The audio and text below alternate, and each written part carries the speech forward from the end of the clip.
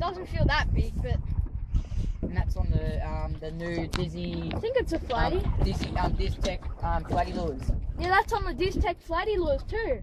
Because I was just bouncing along the bottom, and as you saw, I just paused it. Yeah, I think it's a fish. Yeah, it's a fish. It's not weed.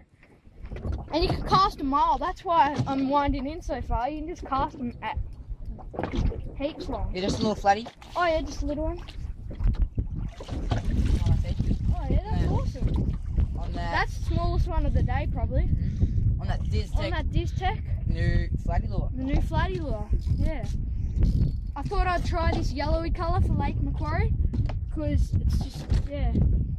And it turns, turns out right. Yeah, we'll get some photos, yeah. So I got the um, Diztek lure out of this little flatty and I'll just release him. I just got to swim him because yeah,